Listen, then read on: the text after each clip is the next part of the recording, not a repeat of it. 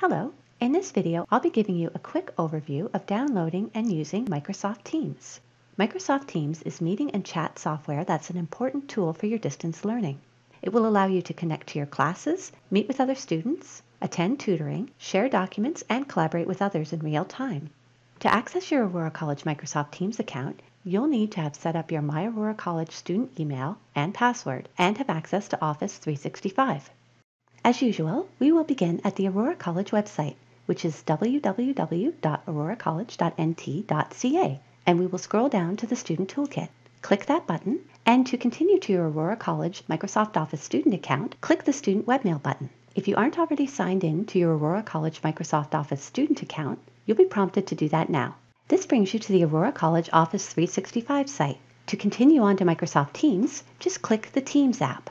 You'll now be given a choice to download the Windows app or continue on using the web app. To set up Teams on your computer or laptop's desktop, click the Get the Windows app button. Once you've clicked the button to install Teams on your desktop, it will download to your computer and you can follow the prompts to install. Once Teams has been installed, you'll be asked for your email. Enter your My Aurora College email here. Next, log in with your My Aurora College email and password at the Aurora College Online Services page.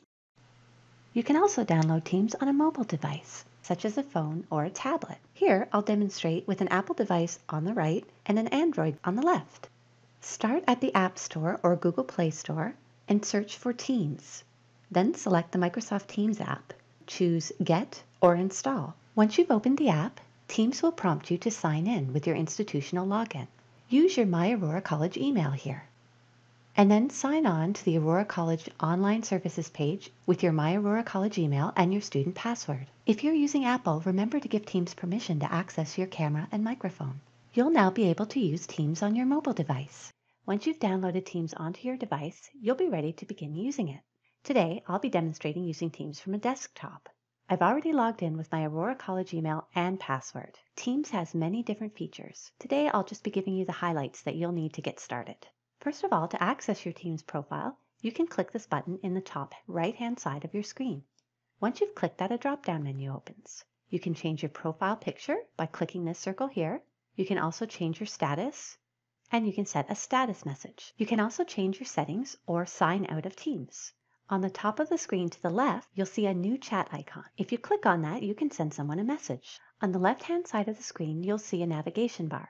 The first option is to look at your activity. If there's been any activity in Teams, you'll see a little red number here. You can access chats here, including a history of your chats. You can find your Teams assignments, calls, files, and more. Today I'll show you the Teams feature. When you click the Teams option, you'll see the teams that you're part of. You may have teams that are college-wide, for your campus, your program, individual classes, or other groups. To enter into a team, just click on the icon. When you're inside a team, you can see posts that have been made to the team, as well as files, a class notebook, assignments, grades, and more. You'll sometimes have the option to make posts or reply to them yourself, as well as join a meeting. Inside a meeting, you'll still have access to your navigation bar on the left, but when you move your mouse around, you'll see that you have a new taskbar.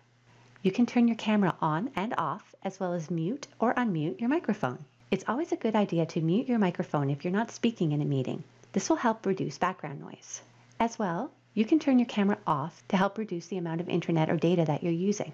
Turning your camera off can also sometimes help if you have a slow connection. You can also choose to share your screen, which is helpful if you're presenting. You can click this icon to display more actions, such as recording the meeting or changing your background. This icon allows you to raise your hand, which allows you to ask a question or make a comment without interrupting. This speech bubble opens the chat pane, which is another way to make comments or ask questions. Be aware that anything that you type in chat is visible to everyone who's in the meeting. Finally, you can see who's in the meeting and you can hit the red hang up button to end the meeting at any time. With Teams, you'll be able to attend classes and connect with others while studying from home. This will help you to fully participate and engage in your learning and will help set you up for a successful academic year.